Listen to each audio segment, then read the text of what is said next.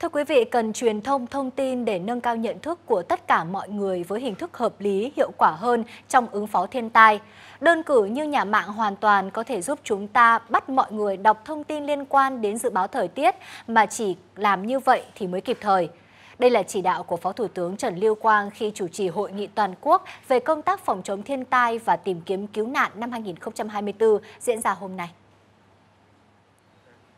Theo dự báo, từ tháng 6 tới đây, nắng nóng gia tăng về cường độ mở rộng dần sang các nơi khác của khu vực Bắc Bộ, Bắc Trung Bộ và Trung Trung Bộ.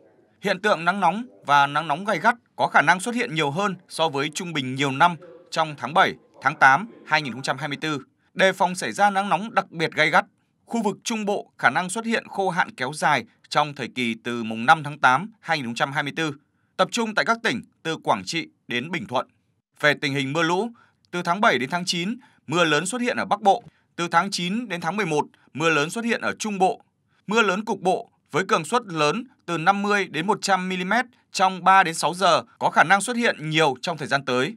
Đặc biệt, tại khu vực Trung Bộ, khả năng chịu tác động của hiện tượng La Nina nên có thể xuất hiện các đợt mưa tập trung nhiều trong những tháng cuối năm. Phát biểu chỉ đạo, Phó Thủ tướng Trần Lưu Quang yêu cầu hoàn thiện cơ chế chính sách trong công tác phòng chống thiên tai cần truyền thông, thông tin để nâng cao nhận thức mọi người với hình thức hợp lý, hiệu quả hơn. Tôi nói bây giờ sử dụng mạng xã hội cực kỳ hiệu quả. Bây giờ nó có thể hiện ngay lập tức trong điện thoại của mỗi người.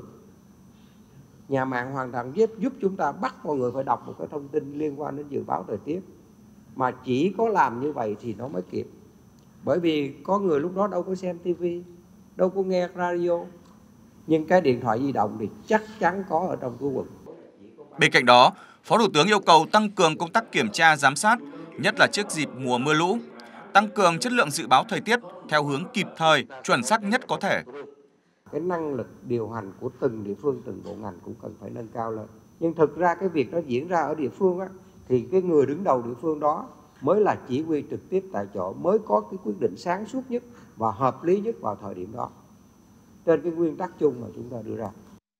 Phó Thủ tướng đề nghị huy động nguồn lực đầu tư, đặc biệt là việc khắc phục hậu quả thiên tai hoàn toàn có thể kêu gọi nguồn lực xã hội.